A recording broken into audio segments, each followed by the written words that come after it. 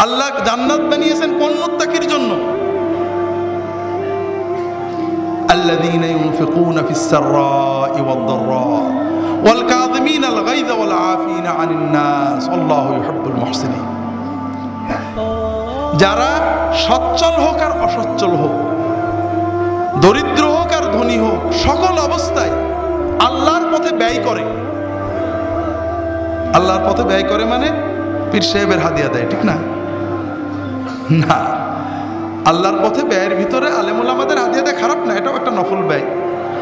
যদি আল্লাহর জন্য দেন, যদি মনে করেন লোকটা আল্লাহর একজন ভালো বান্দা, তাকে হাদিয়া দিলে আল্লাহ যদি দেখে যে আমি আল্লাহর জন্য মহব্বত করছি, আল্লাহ খুশি হবে, এই জন্য দিলে নফল এবাদত আর যদি মনে করেন হুজুরের দিলে হুজুর খুশি হলে আমার বিপদ কেটে দেবে, তাহলে কি হবে?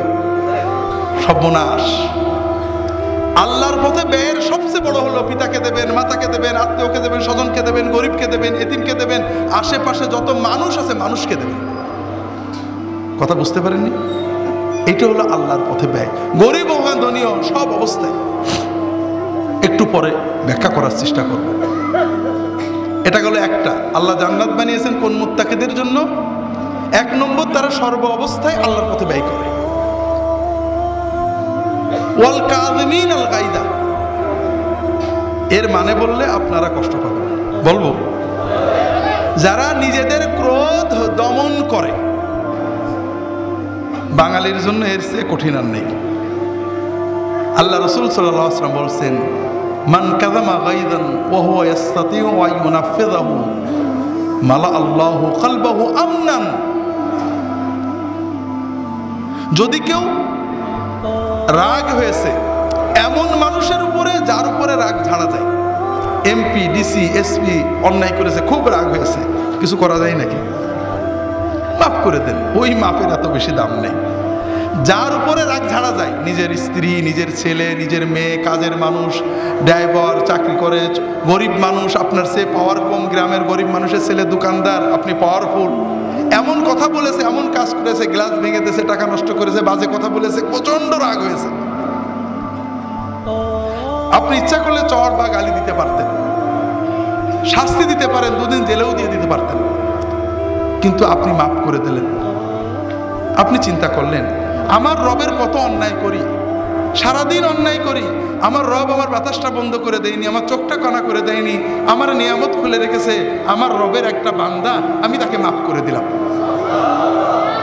আল্লাহ রসুল সাল্লাম বলছেন, যদি কেউ ক্রোধ এক্সিকিউট করার ক্ষমতা থাকা সত্ত্বেও ক্ষমা করে দেয়, ক্রোধ সম্বরণ করে, আল্লাহ এত খুশি হন যে কেয়ামতের কঠিন দিনে ওই ব্যক্তির অন্তরটাকে শান্তি দিয়ে, নূর দিয়ে ভরে দেবেন।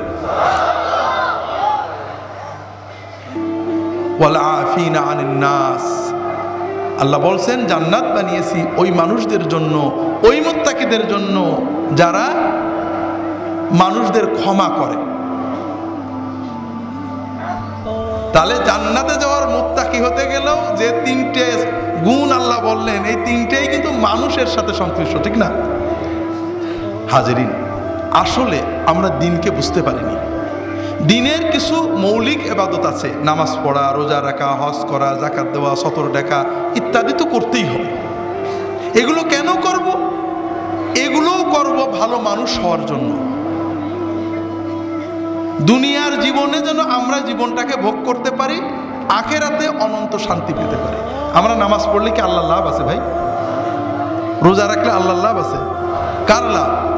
আমাদের লাভ, আমরা অন্তরে শান্তি পাবো, আমাদের পবিত্রতা আসবে, আমরা দুর্নীতি থেকে বাঁচবো, আমাদের ভিতরে তাকুয়া আসবে ইত্যাদি, ঠিক না?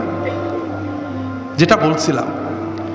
এরপরে আমাদের দিনের যে মূল শিক্ষা, সেটা হলো মানুষ মানুষ এবং মানুষ। মানুষেরও খেদমত করো, মানুষের উপকার করো, আল্লাহ প্রিয় হতে পারবে। অগণিত হাদিস। আপনি সবে বরাত করেন, সবে মেরাজ করেন, অনেক কিছু করেন, পীরের দরবারে যান, দিনের পর, এগুলো সব ভালো কাজ। তবে এর চেয়েও অনেক সময় ভালো, এর মতোই ভালো, এর চেয়েও ভালো মানুষকে সাহায্য করা। আল্লাহ রসুল সাল্লাহ ইসলাম বলছেন আহাবুল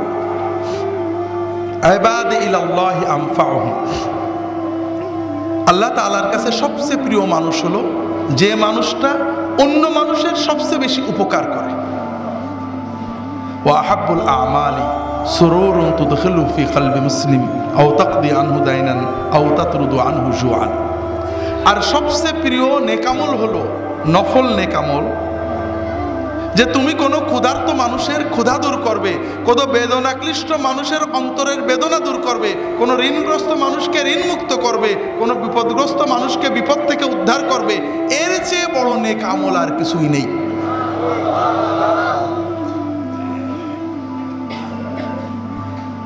ওয়ালা আন ইলাইয়া মিন আন আতাকিফা ফিল মাসজিদি শাহরা। হাদিসটা আবদুল্লাহ ইবনে ওমর থেকে বর্ণিত, তবরানি রেওয়ায়াত করেছেন, ইমাম সুয়ুতি সহি বলেছেন, শেখ নাসিরউদ্দিন আলবানী হাসান বলেছেন। আল্লাহ রসুল সাল্লাম বলছেন, কোনো, আমার কোনো ভাইয়ের সাথে তাকে সাহায্য করতে একটু হেঁটে যাওয়া, মদিনার মসজিদে দুই এক মাস এতে কাপ করার চেয়েও উত্তম। ওমান মাসা মা আখিহি ফি হাজাতিল্লাহু হাত্তা ইউসবিতাহা লাহু সাব্বাতাল্লাহু কাদামাহু ইয়াউমা তাজিল্লুল আকদাম। যদি কেউ কোনো মানুষের সাথে হেঁটে যেয়ে, একটু তার কাজটা করে দেয়, হাজতটা মিটিয়ে দেয়, কেমন? হাদিস শরীফে আসছে কিছু উদাহরণ। একজন লোক টাকা পাবে একজনের কাছে, দিচ্ছে না। আপনি এলাকার প্রভাবশালী মানুষ, রাজনৈতিক নেতা, সামাজিক ব্যক্তিত্ব, সাথে যে বললেন, ভাই, ওর টাকাটা পাবে, দিচ্ছেন না কেন? দিয়ে দেন। লোকটা যখন জানলো, আপনি জেনে গেছেন, দিয়ে দিল। একজন টাকা পাবে, খুব চাপ দিচ্ছে, গরিব মানুষ দিতে পারছে না। আপনি যে দুই মাস সময় নিয়ে দিলেন হাসপাতালে ডাক্তাররা ভর্তি করছিল না ক্লিনিকে যাইতে বলছিল, আপনি ভর্তি করে দিলেন। পুলিশে ধরে নিয়ে গেছে, ঘুষ ছাড়া ছাড়ে না। নির্দোষ মানুষ, আপনি জানেন, অন্যায় করে ধরে নিয়ে গেছে। আপনি বলে তাকে বের করে দিলেন। এতিম, বিধবা যে কোনোভাবে একটা মানুষের সাথে যে তার প্রয়োজন মিটিয়ে দেওয়া, আল্লাহ রসুল সাসাম বলছেন, যদি কেউ এটা করে, তাহলে কেয়ামতের দিন যেদিন সবার পা পিছলে পুলসেরাত থেকে জাহান্নামে চলে যাবে, ওই দিন ওই ব্যক্তির পা আল্লাহ পিছলাতে দেবেন না। হাজারি। এই জন্য আমাদের তাকুয়া খুব ভালো করে বুঝুন। আপনি নামাজ পড়েছেন, রোজা রেখেছেন জাকাত দিয়েছেন, দান খয়রাত করেছেন তাহাজ্জত পড়েছেন, খুব ভালো কাজ। কিন্তু এই ভালো কাজগুলো সত্যিকারের তাকুয়া অর্জন করেছেন কিনা আপনি? আসলে ভালো কাজগুলো সত্যিকারের ভালো হয়েছে কিনা? আপনার জীবনে এসেছে কিনা? এটা প্রমাণ করতে একটু তাকান, আপনি মানুষের সাথে কি আচরণ করেন? আপনি যদি মানুষের সাথে ভালো আচরণ করেন মানুষের হকগুলো আদায় করেন, মানুষের কর্তব্য পালন করেন, তাহলে বুঝতে হবে যে না, আসলে আপনার নামাজ, রোজা, হজ দেখার তাহাজ্জুদ আপনার কাজে লেগেছে। আর যদি এত কিছুর পরেও আপনার ছেলের সাথে সারাদিন ঝগড়া, মেয়ের সাথে খারাপ ব্যবহার, স্ত্রীর হক আদায় করেননি, স্বামীর সাথে ঝগড়া করেছেন, আপনি মা বাবার হক আদায় করেননি, আপনি প্রতিবেশীদের সাথে ঝগড়া করেন, মারামারি গোলমাল করেন, আপনি ভালো করে বুঝে নিন, আপনার এই ভালো কাজগুলো ভালো পর্যায়ে যায়নি। একটা হাদিস এসেছে রসল্লাহ সাল্লামের কাছে দুইজন মেয়ের কথা বলা হলো। একটা মেয়ে ফরজ এবাদত করে, নফল করে তাহাজ্জত করে, দান খয়রাত করে, কিন্তু তাদের পরিবারের আত্মীয় স্বজন পাড়া প্রতিষ্ঠানে খুব ঝগড়াঝাটি, খারাপ আচরণ করে। নফল, ফরজ এবাদত করে তাহাজ্জত পড়ে, জিকির করে, দান খয়রাত করে, সব করে, কিন্তু মানুষের সাথে ঝগড়াঝাটি করে, খারাপ আচরণ করে। আর একটা মেয়ে, মহিলা, তিনি ফরজটা পড়েন, নফল ইবাদত তেমন কিছু করে না, দান করা তো করেন কিন্তু মানুষের সাথে খুব ভালো আচরণ করে। পাড়া, প্রতিবেশী, আত্মীয় স্বজনের সাথে ভালো আচরণ করে। ব্যবহারটা সুন্দর। রসুল্লাহ সাল্লাম প্রথমের কথা বললেন, ও জাহান নামে যাবে। আর দ্বিতীয় মহিলার কথা বললেন, ও জান্নাতে যাবে। সুনানে আবু দাউদ অন্যান্য কেতাবের সহি হাদিস।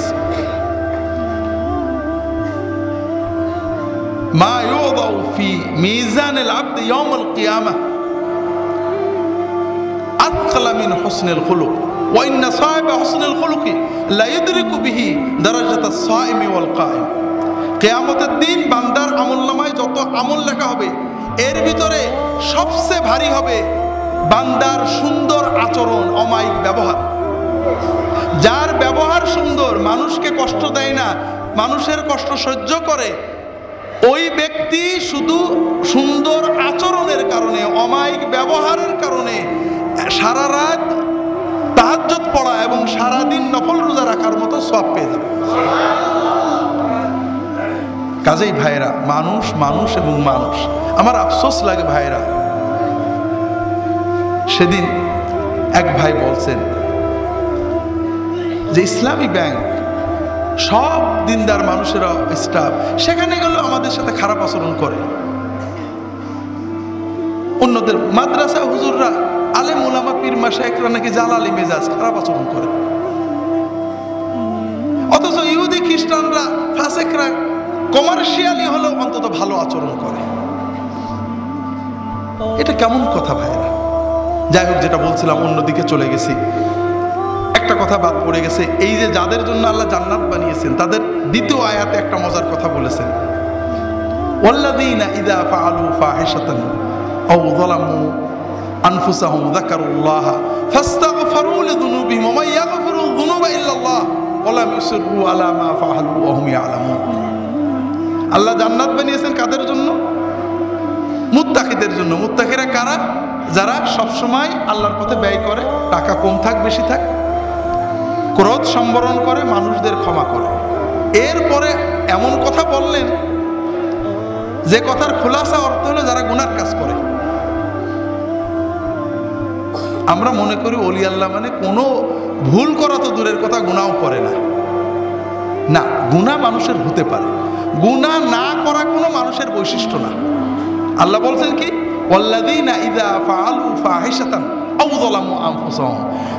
আল্লাহ জান্নাত বানিয়েছে যা তাদের জন্য যারা হঠাৎ করে কোনো গুনার কাজ যদি করে ফেলে, কোনো অন্যায় করে ফেলে জাকারুল্লাহ আল্লাহর কথা মনে করে ফেলে।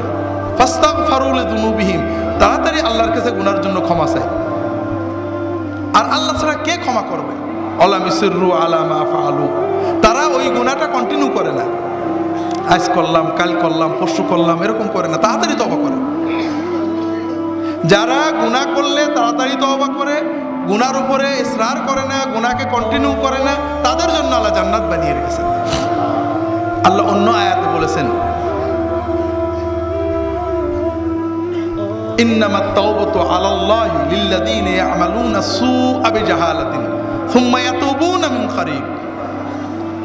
আল্লাহর উপরে দায়িত্ব হলো ওই সব লোকের তওবা কবুল করা, যারা হঠাৎ করে আবেগে না জেনে ভুল করে অস্থিরতায় গুনাহ করে ফেলেছে, তাড়াতাড়ি তওবা করে। কি করে? তবা মানে আল্লাহ আর কোনোদিন করব না, আল্লাহ অন্যায় হয়ে গেছে। তবা মানে তিনটে।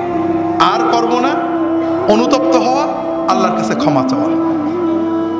ওদের তবা আল্লাহ কবুল করবে।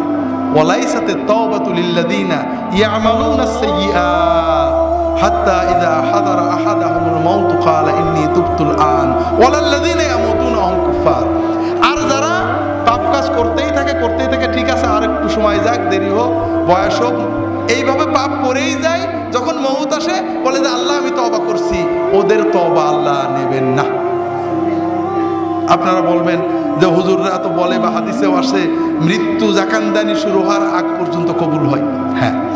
যে সবসময় তবা করে তবা করেছে তবা করেছে, মরার আগে কিছু হয়েছে, মরার আগ পর্যন্ত আল্লাহ কবুল করবে।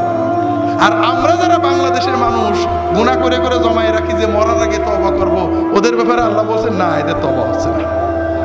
কাজেই আল্লাহর রস্তে বলি গুণা জমায় রেখেন না ভাইরা, প্রতিদিন তবা করবেন, দ্রুত তবা করবেন, নিয়ত করবেন, আল্লাহ আর আমি করব না। চেষ্টা করবেন, আবার যদি কোনো কোনো হয়ে যায়, আবার তবা করবেন গোনা জমিয়ে রাখবেন না। আল্লাহ তৌফিক দান করুন, আমিন।